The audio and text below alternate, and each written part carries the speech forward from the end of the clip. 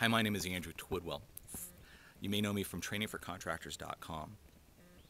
I've been running a successful plumbing, electrical, heating, and air contracting company for the last 10 years.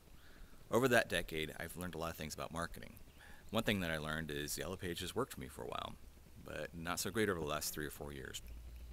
I've become really frustrated with my ad rep um, over the years. I actually hate seeing them. I'm spending more and more money and getting less and less in return.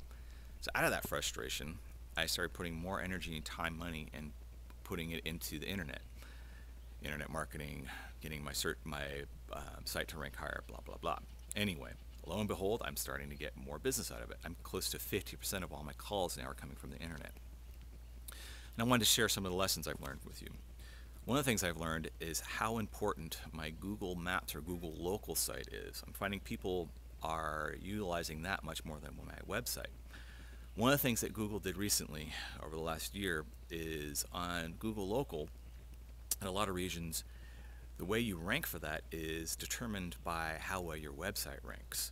So it's not that you don't need a website, you definitely need a website. And you need a website that ranks really high for your local to even show up.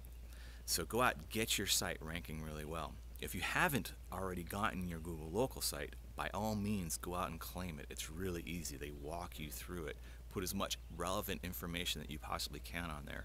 And I mean relevant. Don't try to trick the search engines into getting searching for you. You want to use stuff that's really relevant for your business, services that you offer.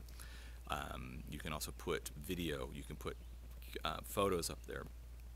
Put the time of the day that you work, where your location is. One thing that people really miss out on is the title of your site. They'll usually just use their name. Well, you got a lot of characters there. I put in things like um, standby generator, tankless water heater, drain cleaning, those sort of things. The services that I offer, I put those in the name of my company.